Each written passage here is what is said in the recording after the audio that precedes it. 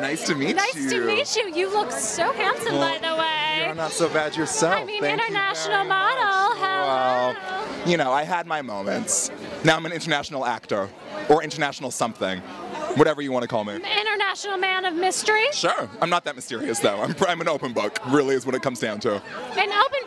Tell me about that. You know, I mean, I think that um, the best way to walk through this world is just by being vulnerable and authentic, and it's the you know the easiest way to attract that type of energy into your life. And you know, I mean, it's just it's what feels good, it's what feels right. So it's Speaking working well for me so far.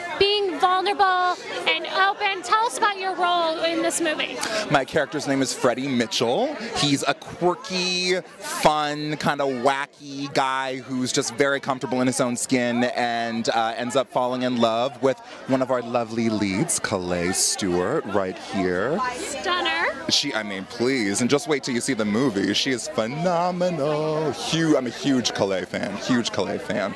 Yeah, we have a, I mean, I think that that is the perfect example what I was saying before about authenticity and vulnerability is that these two characters um, really know themselves, really um, have a very strong sense of, uh, of self-awareness and really put that out in the universe and end up receiving it back in the love that they find in each other. It's a very unexpected love, but it works. What do you mean an unexpected love? It's a very dynamic relationship, and it's important. Freddie is bisexual, and I think he, you know he always end, uh, thought he would end up with a man, and then he ends up meeting Nell, played by Kellee Stewart, and she sweeps him, uh, you know, just like just uh, just steals his heart in the first moments of meeting, and it's it's it's you know straight out the gate, just true love from there. Did you learn any personal life lessons on life and love and playing this role?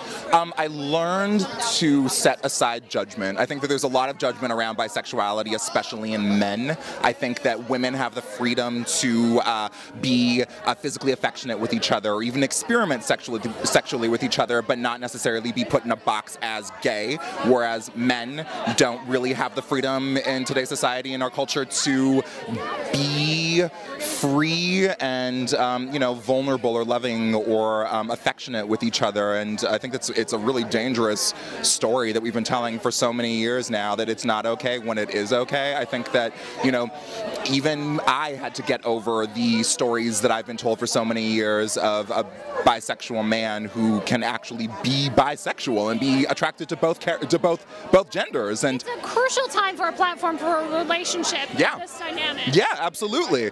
I mean, it was the easiest thing in the world, honestly. I mean, I uh, uh, every scene I have with Kellee from the moment that I met her, I can see so easily how it really is just about the soul that you fall in love with. It's you know, gender doesn't really mean much at the end of the day.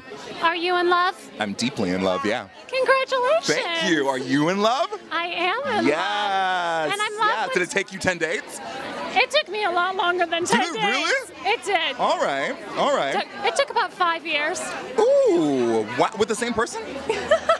wow. Okay. No it's judgment. complicated. You know, and I think that's the best thing about this movie is that all of these characters are looking for love, and it really, uh, they are all trying to get to the same end final destination, but they all go about it in very different ways, and it just opens the door of conversation of like, you know, what works for you may not work for me, but at the end of the day, we all just want to be loved.